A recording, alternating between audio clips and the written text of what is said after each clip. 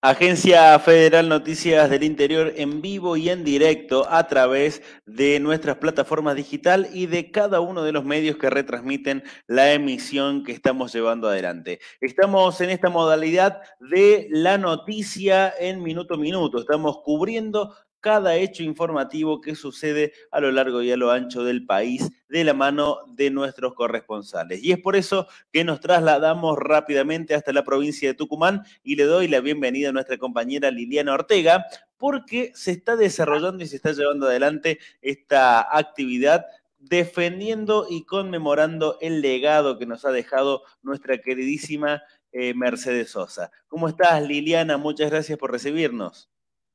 ¿Qué tal? ¿Cómo estás, Matías? Eh, bienvenido a esta zona linda de Leales, de, parte de Tucumán, de Villa Fiat. Te comentamos que entrevistamos a Coqui Sosa, es el legado, el legado de Mercedes Sosa.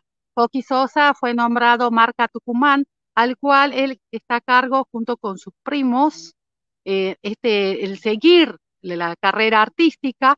Recordemos que Coqui, Coqui Sosa siempre estuvo cantando en, el, en los escenarios de Mercedes Sosa, al cual se lo aduce directamente a él de parte del ente autártico de la provincia, como también del gobernador, de hacerlo como marca Tucumán eh, a Coqui Sosa. Por eso mismo, eh, Agencia Federal de Noticias del Interior, conjuntamente con Canal 12, La Pulpería del Herrero, hemos decidido eh, ingresar y, a él y entrevistarlo y que nos cuente es una mochila pesada ser sobrino de Mercedes Sosa. Adelante el material, eh, Matías. Para atrás, todo lo bueno que tenemos y este presente eh, difícil, pero que si nosotros también nos ponemos en contexto de cuánto les tocó, cuánto les costó construir la patria a nuestros próceres, a nuestros padres, a nuestros abuelos, este, tenemos que mirar para ahí para poder este, construir un futuro, ¿no? Así es, también debe ser un peso gigante, pero también honor de tener y ser sobrino de Mercedes Sosa, el cual deja un sello indeleble a nivel nacional como representante embajador y a nivel internacional, porque también estuvo en Francia, en distintas partes de Europa, Mercedes.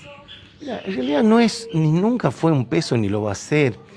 Es un orgullo muy grande una responsabilidad muy grande, porque en realidad también porque uno la asume, yo podría haber dedicado a cantar otras cosas, seguir otro camino dentro del arte mismo, sin embargo yo decidí caminar ese camino que nos enseña la tía Mercedes, y claro, uno dice Sosa, canto, arte, y sí, se referencia, además yo compartí con, con la tía, compartí canciones, grabaciones, recitales, giras, entonces mi historia está ligada a la historia de ella.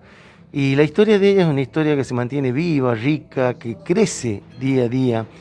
Entonces muchas veces la gente se acerca, te pregunta y de alguna manera uno ha tenido el privilegio de ser, de compartir, de conocerla, de, de luchar codo a codo también con ella en muchas cuestiones que tienen que ver con la identidad, con la raíz.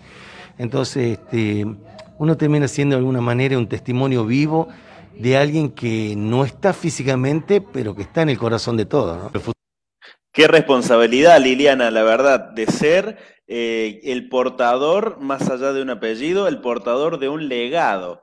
Y eso yo creo que es una responsabilidad muy grande para él y para todos sus familiares. Así es, Matías. También estuvimos en el ente autártico de Tucumán de Sebastián Llovelina, el presidente del turismo de la Secretaría, eh, y entrevistamos nada menos que a, la señorita que estaba a cargo de mm, eh, una, hermosa, eh, sería estatua o imagen, imagen de Mercedes Sosa, que fue realizado y que los turistas comentando por ella misma cómo la visitan y cómo se sacan fotos con ella. Está permanentemente viva su imagen, su, carrera, su, su, toda su forma de ser de parte de Mercedes Sosa. Perfecto, entonces compartimos la entrevista, entonces adelante.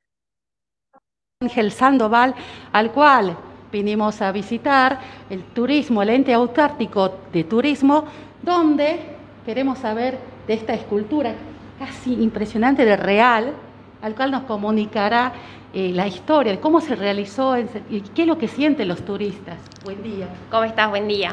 Bueno, la verdad que las, las personas cuando llegan acá a la provincia vienen en busca de Mercedes Sosa, se llegan por nuestra oficina de turismo, hay gente que pasa por la vereda, incluso sacándole fotos, le invitamos a pasar acá a la oficina, la gente se emociona mucho, hay gente que la, toca, la acaricia, se saca fotos, incluso eh, les canta, ha pasado eh, en alguna oportunidad que ha venido un grupo de chicos con guitarras, se han sentado alrededor de ella y han hecho como una peña en nuestra oficina, la verdad que es muy emocionante para ellos poder eh, tocarla, visitarla, e incluso hay gente que recuerda anécdotas, por supuesto, de años anteriores junto a ella.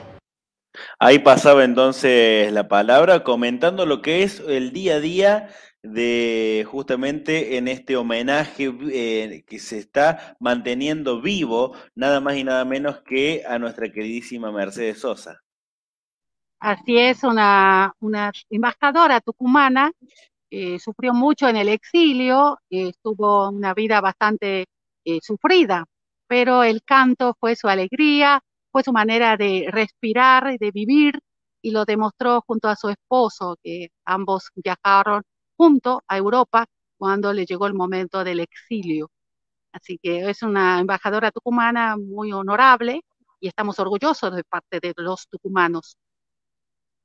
Así es, Liliana, eh, y desde ya te agradezco por la posibilidad que tenemos todos nosotros de poder ver y compartir y seguir justamente difundiendo este legado que nos ha dejado justamente la negra.